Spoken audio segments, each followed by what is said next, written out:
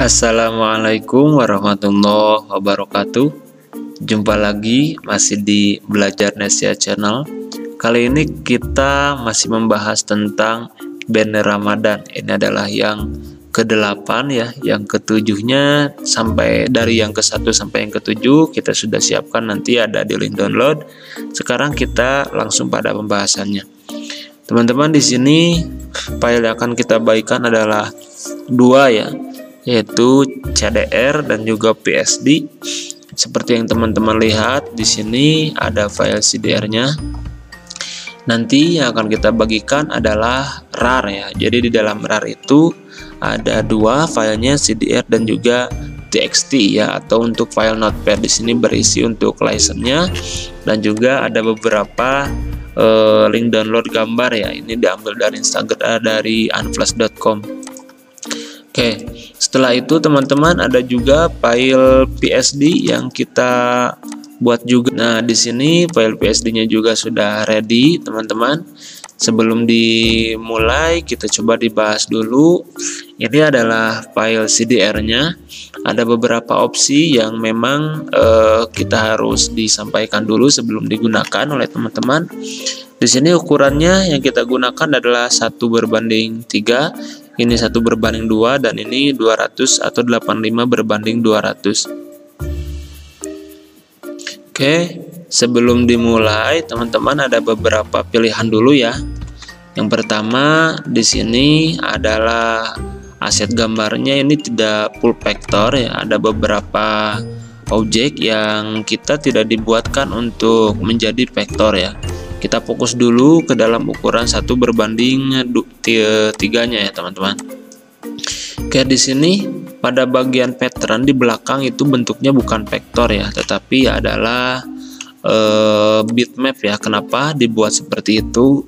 Karena pertama kita kesulitan ya teman-teman untuk membuat pattern seperti ini dalam versi Corel Draw jadi kita dibuatkannya Selain dari itu, vektor aja, tetapi untuk yang pattern ini dibuatkannya menjadi bitmap ya. Jadi teman-teman nanti tinggal digeser aja seperti itu ya. Salah satu kalau misalkan terlalu besar itu bisa menggunakan di crop menggunakan di sini ada ya eh bejer eh, septul maksud saya. Digunakan saja menggunakan septul tinggal digeser seperti itu. Ini juga sama berarti tinggal digeser. Nanti untuk merapikannya bisa cara dengan demikian. Oke kita nanti juga lakukan untuk hal yang sama pada bagian background yang ini ya teman-teman.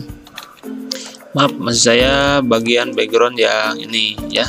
Tinggal digunakan saja yaitu menggunakan shape toolnya oke di drag aja jangan lupa sampai si objeknya itu tidak eh, tertimpa ya atau tertindih. Oke.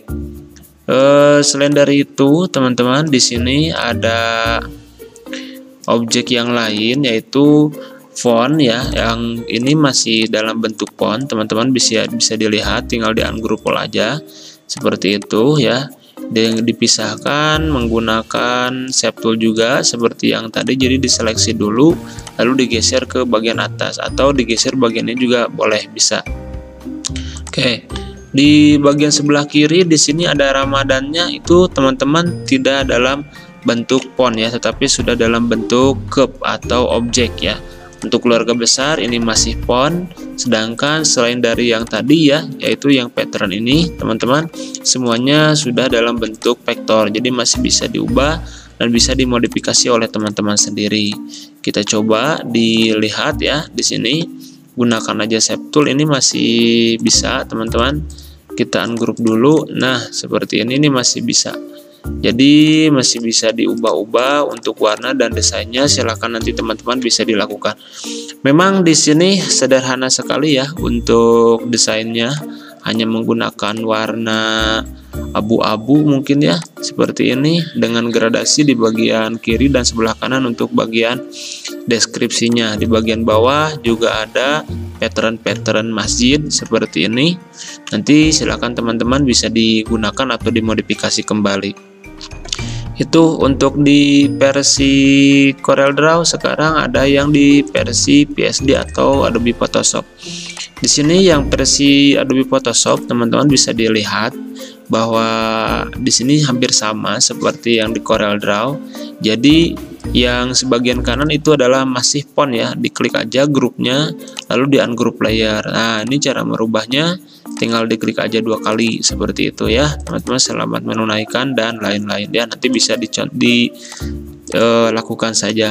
Untuk bagian sebelah kiri di sini perbedaannya pada bagian uh, long shadow ya mungkin ya atau bagian blend toolnya kita sudah di tidak berubah ya jadi eh, pada bagian belakangnya itu menjadi transparan berbeda ketika di Corel Draw objeknya itu tidak transparan ya jadi memang kita ada kesulitan untuk di bagian belakang juga sama karena ini seluruhnya bitmap tetapi masih editable pada bagian layer-layernya.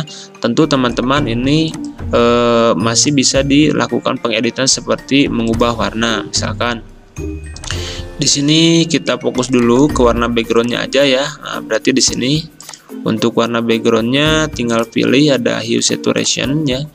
Oke, kita geser aja teman-teman seperti itu. Mana tahu teman-teman ingin menggunakan warna-warna yang lain, ungu, pink, dan warna-warna yang lainnya.